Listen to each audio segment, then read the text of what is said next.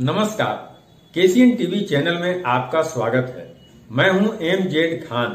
आइए डालते हैं आज की ताज़ा खबर पर एक नज़र। बहुजन समाज ने देश भर में बेटियों के साथ बलात्कार, हत्या और लाठीचार्ज को लेकर आज बस्ता कोला अंबेडकर चौक के पास विरोध प्रदर्शन किया और दिल्ली के गवर्नर का फूंका पुतला।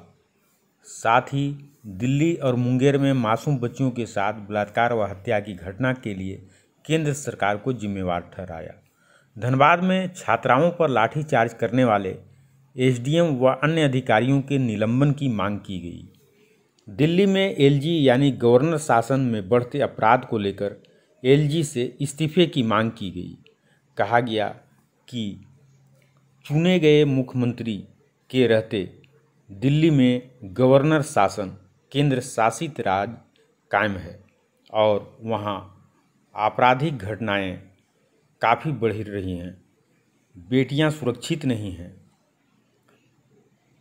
आप देख रहे हैं इस वीडियो में दिल्ली के एलजी यानी गवर्नर का फूंका जा रहा है पुतला। बहुजन समाज काफ़ी आक्रोशित नज़र आ रहे हैं।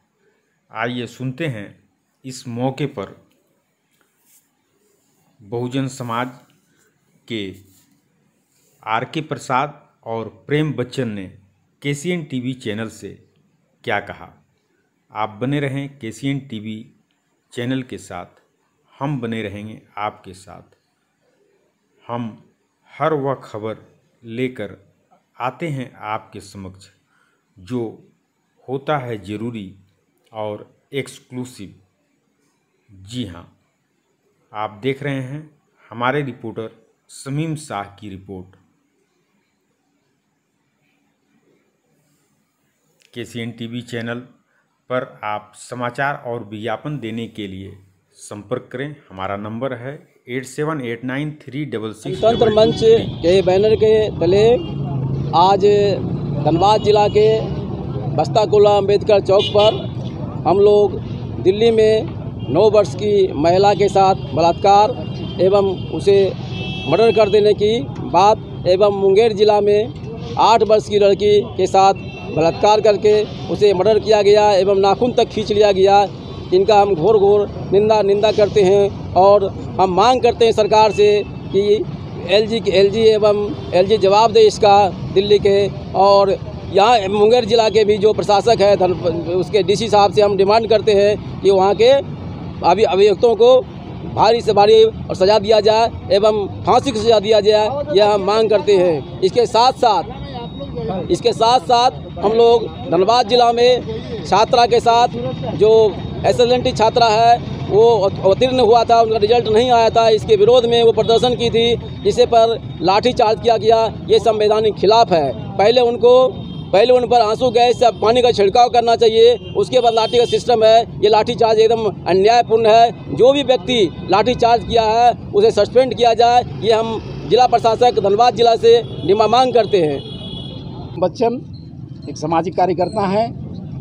आज हम लोग बस्ता गुलाम अंबेडकर चौक पर इस बात का विरोध करने के लिए इकट्ठा हुए हैं कि भारत के अंदर में प्रति छः घंटा के अंदर में एक बहुजन बेटी के साथ बलात्कार की घटना घटती है। और निरंतर जब से भारत की भारतीय जनता पार्टी की सरकार दिल्ली में आई है तब से मानो ये बलात्कार उनका एक एक कॉमन मिनिमम प्रोग्राम है। ये रुकने का नाम नहीं ले रहा। और सबसे दुख की बात है अपराधी को सजा देने में भी कहीं न कहीं हम पिछड़ रहे हैं हमारी सरकार पिछड़ रही है। हम इस पर घोर निंदा करते हुए पूरे देश भर के अंदर में बहुजन समाज के लोग आंदोलित हैं। उसी के क्रम में आज हम लोगों ने बस्ता कोला अंबेडकर चौक पर एक अटेंडम बिना किसी योजना का हम लोगों ने यहाँ पे एक विरोध प्रदर्शन करने का काम किया है।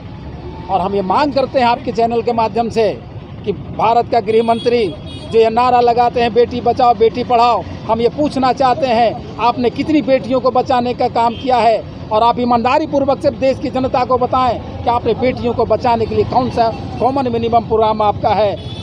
आपका नीति स्पष्ट, साफ़ सुथरा दिखाई पड़ रहा है। आप बेटी बचाना नहीं चाहते हैं। बल्कि बेटी मिटाने में आप भरोसा करते हैं आप बेटी को समाप्त करने पर भरोसा करते हैं जिसका नतीजा है कि आठ आठ साल की नौ नौ साल की बच्चियों के साथ जिसे काका काखा गाघा नहीं आता है जिसको संसारिक दुनिया का कोई दर्शन नहीं हुआ है वैसे बच्चियों के साथ बलात्कार और मंदिरों में बलात्कार इससे बड़ा शर्मनाक इससे बड़ा दुख का बात पूरे दुनिया के अंदर में कुछ नहीं हो सकता है।